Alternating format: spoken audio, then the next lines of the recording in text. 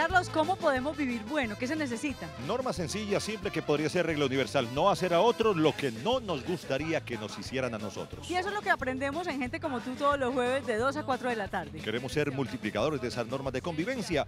Jueves 2 de la tarde estaremos en la asomadera al oriente de la ciudad. Vamos para la Comuna 9 y contamos con todos ustedes porque en Telemedellín, aquí, te, ves. Cuando